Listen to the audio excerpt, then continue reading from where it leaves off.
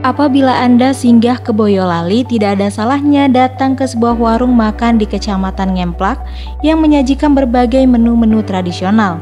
Salah satu menu spesial yang ditawarkan adalah botok granat. Warung yang berada di Jalan Tol Solo Kertosono, Desa Debal, Kecamatan Ngemplak Boyolali ini memang dikenal dengan menu andalannya botok granat.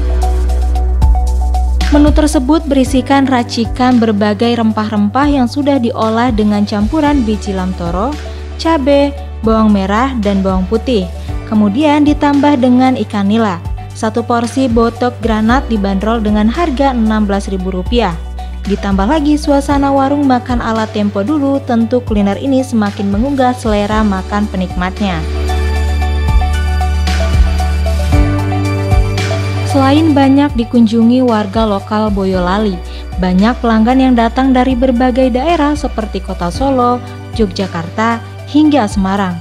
Menurut pemilik warung makan Pendopo Laras, menu andalan spesial botok granat tersebut terinspirasi saat ia melakukan penjelajahan kuliner di berbagai daerah di wilayah Jawa Tengah. Dalam sehari, warung makan ini dapat menghabiskan 100-150 bungkus botok granat terinspirasi dari kesenangan saya itu saya meracik ini botok granat bahannya apa saja kalau botok kalau bahannya tetap kita tidak meninggalkan estetika botok desa yaitu ada landing atau metir yaitu parutan kelapa ada juga. Terus kita pakai daun salam terus ada juga eh, bumbu-bumbu rempah-rempah tradisional Jawa.